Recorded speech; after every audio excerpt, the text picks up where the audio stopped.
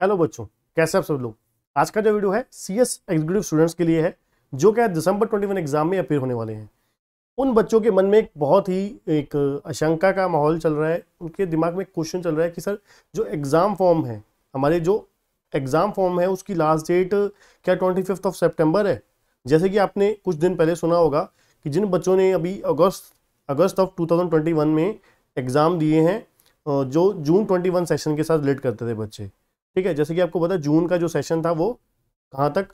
18 अगस्त तक जा चुके हैं एग्ज़ाम ठीक है?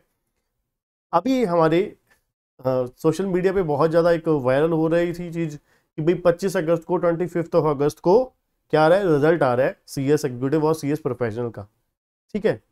जो क्या है बिल्कुल बिल्कुल गलत था क्योंकि आप सोचिए अठारह अगस्त को एग्ज़ाम हो रहे हैं ठीक है?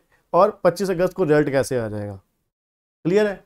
तो देखिए, सबसे पहले जो एक गलत क्वेश्चन था, वो तो साइड पे हो गया, जिससे आपको पता लग गया उसका कारण क्या था। उसका कारण ये था कि गूगल पे अगर आप सर्च करते हो तो मोस्टली जो पिछली वेबसाइट्स हैं, जिनका उन्होंने डाटा डाला हुआ पिछले सालों में तो पहले जो होता था कि आपके जून के फ़र्स्ट वीक में आपके एग्ज़ाम शुरू हो जाते थे, है ना? जून के फ़र्स्ट वीक में नॉर्मली जो एग्ज़ाम है, वो शुरू हो जाते थे। तो ज़्यादा से ज़्यादा दस जून से पहले पहले एग्ज़ाम फिनिश हो जाते थे, है ना? दस जून तक फिनिश हो जाते थे। तो स्वाभाविक था कि 25 अगस्त तक, जून, जुलाई, अगस्त 25 अगस्त तक ढाई महीने के करीब इंस्टीट्यूट को मिलते थे पेपर चेक करने के लिए। तो 25 अगस्त को फिक्स डेट होती थी। 25 अगस्त को फिक्स डेट होती थी जून एग्ज़ाम के लिए, ठीक है? और दिसंबर वालों के लिए होती थी 25 फरवरी। रीज़न क्या है? क्योंकि उनके 25 जून को एग्ज़ाम होते थे। सॉरी जून के अपना फ़र्स्ट वीक में होते थे। अब वो जून वाले एग्ज़ाम पहुँच गए कब? अगस्त के अगस्त के मिड तक पहुँच गए, है ना? मिड से भी तीन दिन आगे चले गए। तो पहली पॉसिबिलिटी तो है नहीं एक चीज़ की, कि उनके एग्ज़ाम का रिज़ल्ट आ ही नहीं सकता पच्चीस अगस्त तक, जो बिल्कुल गलत र्यूमर थी। क्योंकि गूगल पे सर्च करने की वजह से वो बच्चे जो सर्च करें कि हाँ वाकई पच्चीस अगस्त को आ रहा पॉसिबल है तो वो चीज़ बिल्कुल निकल के आई कि क्लियरली रॉन्ग था इंस्टीट्यूट की तरफ़ से कोई नोटिफिकेशन नहीं है, ठीक है? तो ऐसा पॉसिबल ही नहीं है, पहली बात तो कि वो सात दिन में रिज़ल्ट निकाल दें। सात दिन में तो आपको पता है, सात से दस दिन तो सी एस डब्ल्यू डी का रिज़ल्ट निकालने में ही लग जाते हैं। ठीक है ना? इंस्टीट्यूट को अभी तक लगे हैं, जितनी बार भी रिज़ल्ट आया है।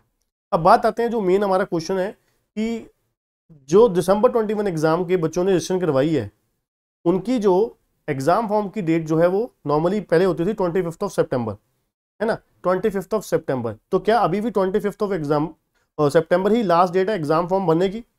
नहीं बच्चों, बिल्कुल रॉन्ग है। रीज़न क्या है? रीज़न क्या है?